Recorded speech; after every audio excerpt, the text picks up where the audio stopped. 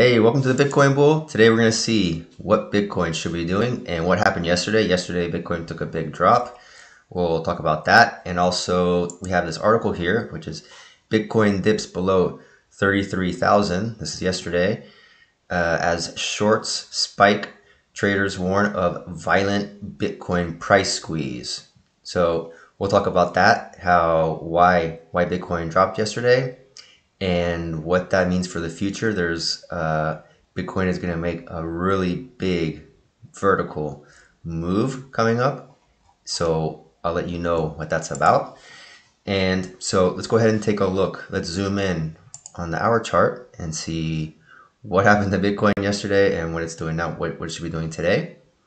And then we'll take and then we'll see we'll take a look at this article and I'm not going to go into any other news today. I want to concentrate and talk about what happened yesterday and what Bitcoin should be doing the next several weeks from now because it's very important.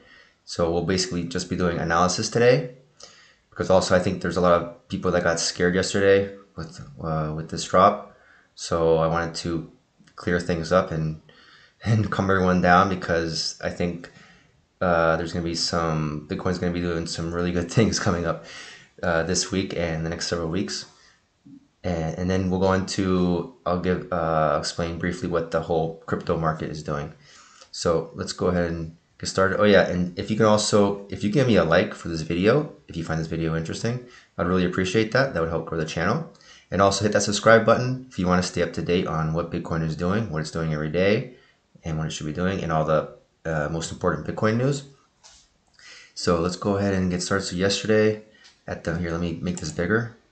So yesterday uh, when I was making the video, let's move this over in the middle. When I was making the video, we were we were up here, and I was saying the most likely scenario would be well, there would be two scenarios. Either Bitcoin would hit this resistance, and I said the most likely scenario would be that we would be hanging out at this resistance, and then the next day going up Another scenario, but less likely, would be Bitcoin to keep going up and break the break this resistance, this uh, this tendency line here, break it and keep and keep going up. Or if something like if the stock market crashed or there's some bad news or Elon Musk made a bad a tweet talking about bad about Bitcoin or something something bad happens, some bad news, then Bitcoin would turn around. It would when it would get here to this resistance, then it would uh, drop. The Bitcoin could drop and it would drop all the way and hit here, which is exactly what it did. It hit exactly here on this on this um, downward tendency line here, this this this support line. And but but the thing is, the strange thing is, is that there's no there's no bad news about Bitcoin, and the stock market's doing fine. Yesterday was fine. So it was it's strange that it dropped and the reason I think it dropped, which in this article, which we'll go into in a minute, says the same thing, that these aren't these aren't people that are selling their Bitcoin because they're they're worried that Bitcoin will drop even more. These are these are these are day traders. These are people that are that are buying in here, for example. They bought in here and they sold here. This is, there's a lot of people that that are doing trading these these past several weeks since since Bitcoin is in this whole area and it's not it's not getting off the ground. While people are waiting for Bitcoin to get off the ground, they're they're they're doing some some some day trading. So they're buying in so they're buying in here, for example, and a couple days later, then they're selling up here, which makes Bitcoin which makes the Bitcoin price drop. And when it drops again, they they buy in again they buy in again here, and then they sell again here, and then it makes the price drop again, and then they buy in again here, and then they sell they sell again here, or here at this point here, and so that's what that's what people are doing, but these aren't people that are selling their Bitcoin because they think it's gonna they put because Bitcoin's gonna disappear, it's gonna go down even more because there's a floor here. It's not it's not Bitcoin isn't dropping below this floor because everyone's holding their Bitcoin, which we went into uh, a few days ago. That there's not very many Bitcoins in the exchanges recently people have taken their Bitcoin out of the exchanges and they're saving their Bitcoin in cold wallets in their wallets. If if they have their Bitcoin in wallets, that means they're not interested in selling their Bitcoins because to sell Bitcoins you have to take it out of your wallet, your virtual wallet or your your your your hard drive, and put it into the, put your Bitcoins into the exchange so that you can sell your Bitcoin. So people aren't selling to to get out of Bitcoin. They're selling because they're doing trading, and that's why there's you know one day goes up, one day goes down. It's just you know staying in here.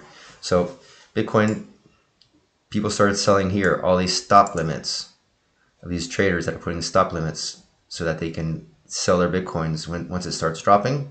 It, so Bitcoin started dropping, started breaking all these, triggering all these stop limits to go off which made Bitcoin drop all the way to here. And now that it's here, all these traders are starting to buy in again. So today, Bitcoin will most likely work its way up and to this to this uh, to this tendency line here, to this to this uh, resistance line here, and then either break and go up tomorrow or the next day, or the traders will sell again and make it drop again until finally one day, um, any day now, a big institution, a big company, uh, like like Microsoft or Apple or someone big, when someone big buys in while Bitcoin's here on the floor, and it'll make Bitcoin skyrocket, and then everyone will want Bitcoin. Everyone will start buying into Bitcoin uh, when they see that it's clearly getting off the floor, and that's that's what will make Bitcoin start start going to the moon. So here, let's take a look at this article. So it may be even yeah, it's right now it's a boring time for for for people invested into Bitcoin because it's like it's, we've been on the floor for so long now, and traders are just doing day trading. They're buying buying one day, selling it again, selling their bitcoins the next day, buying it again, making Bitcoin go up and down. So it's kind of boring. It's kind of a boring time right now, but any day now, mm, Bitcoin is going to get very interesting. So patience, and if you're patient, you're gonna you're gonna get what you're des- what you deserve. You're gonna you're gonna get the the benefits. So it's boring. T- it's a kind of a boring time right now for Bitcoin, but but Bitcoin is preparing a rare event which will shake up price action definitively, uh, argues trader John Wick. So let's see what this is about. Bitcoin fell back to 33,000.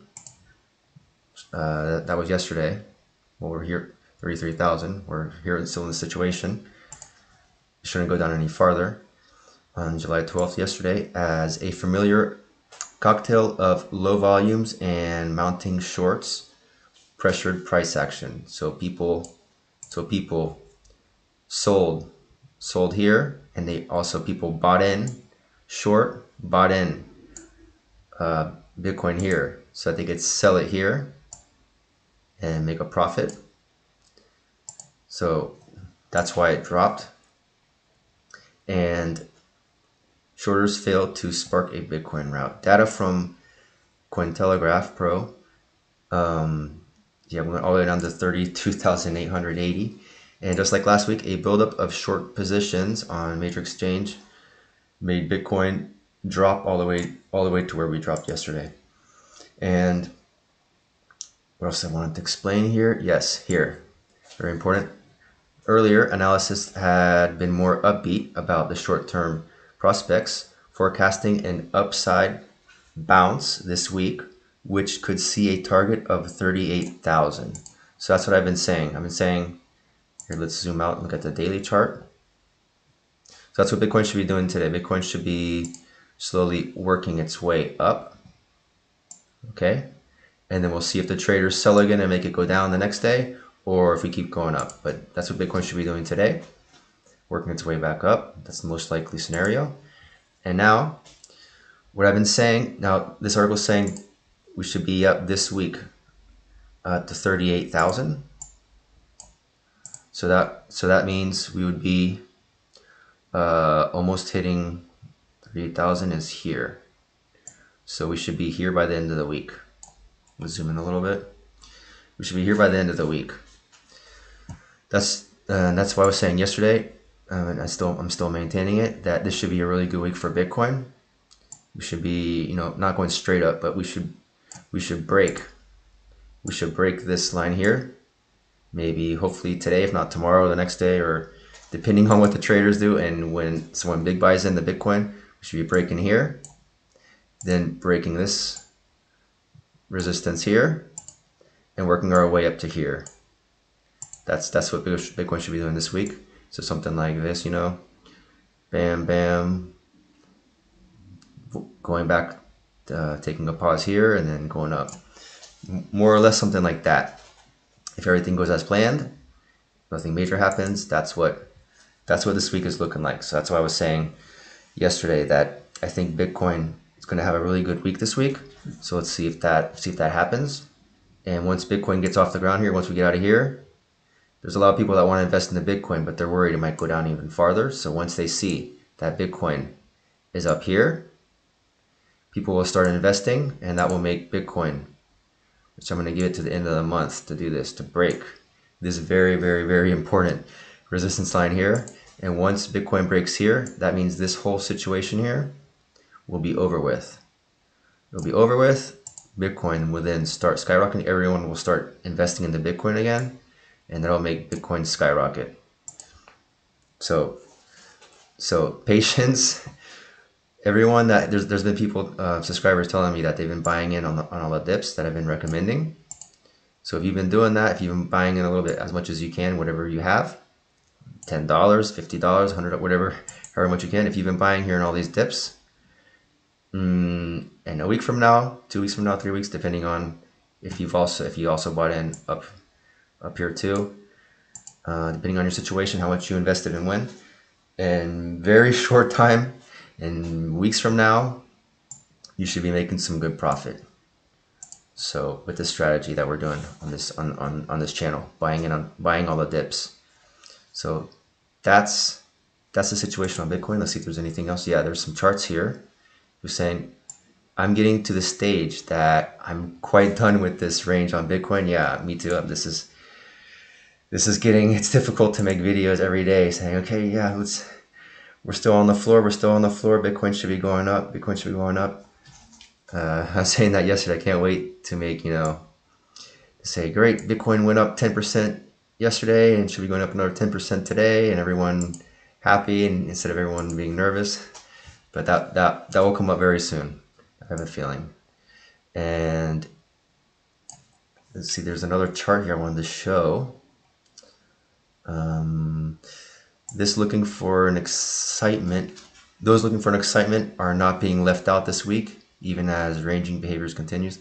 Yeah, that this should be. They're saying here that this this this should be a really good week for Bitcoin. I was saying that, I was saying that yesterday and the day before, and so we have now entered a zone of coiled up volatility indicated by the yellow shading. He commented, and he commented that because he, he noticed that on, on, on a chart he, he analyzed he, he he saw that there's a squeeze pattern.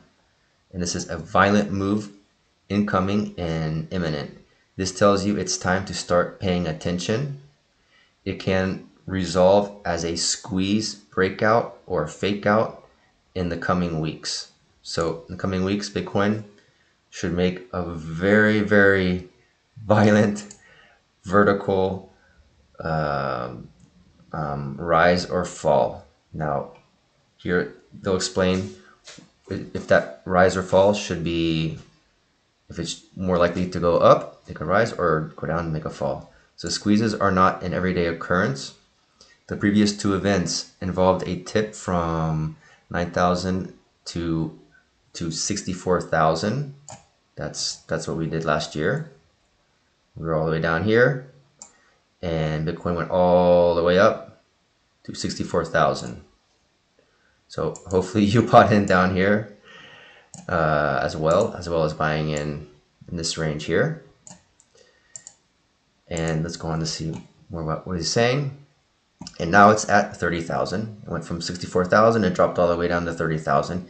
And now the same thing should repeat. Now what's coming up should be the same, the same thing that happened here the same same thing should happen now. Anytime now, we should be doing the same thing. well, not straight line, but you, you know, you understand.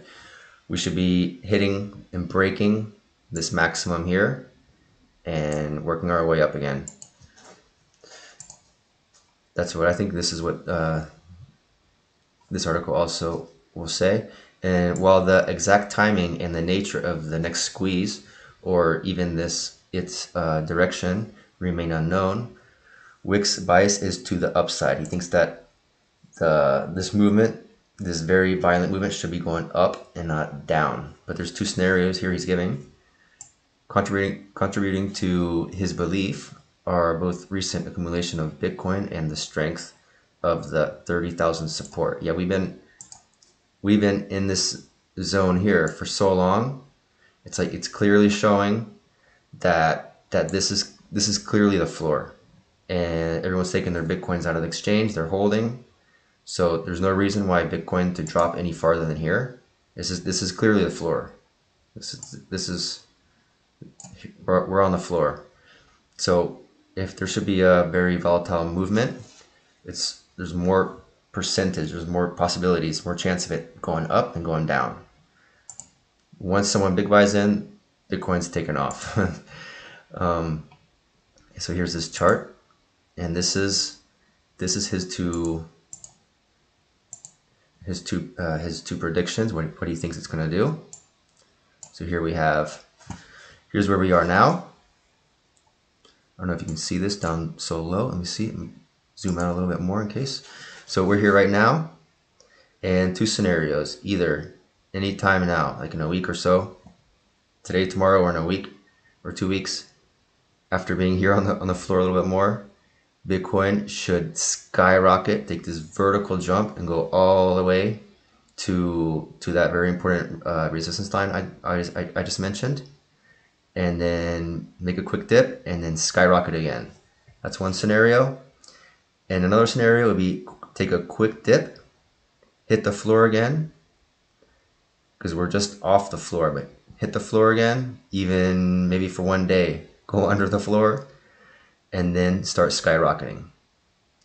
Um, either one, it's uh, the first option would be better than the second option because just to, just so that you know we can sleep better at night, not seeing this dip again, not seeing Bitcoin go down again.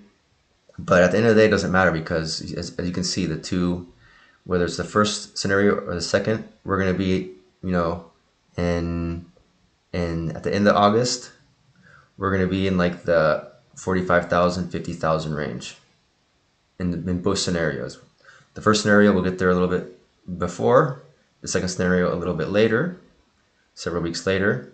But mm, if you're in this for the long run, for the long term, mid to long term, doesn't really matter if it hits 50,000, 45,000 uh, a week or two before or later, unless you're doing like short term trading. So either way, mm, Bitcoin is looking really good.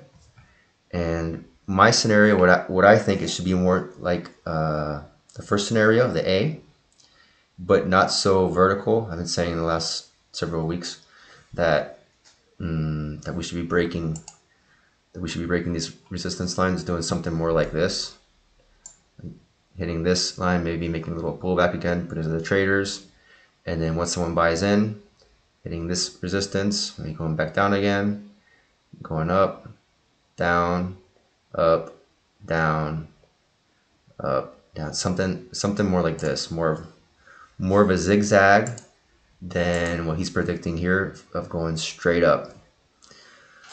Um, either way is fine. The end, I mean, the end result will be the same. We're, going to hit this resistance line here, very important resistance line. Once it breaks, once Bitcoin breaks here, we are all clear. we are all clear. So that's that's what Bitcoin should be doing in the next several weeks from now, and and months. Well, months from now, like I mentioned, like I'm mentioning almost every day, that that mm, by like, well, I would say over here more, by like October, November, we should be in this area here and break break this maximum and go up to the next to the next peak to the next maximum that Bitcoin will hit.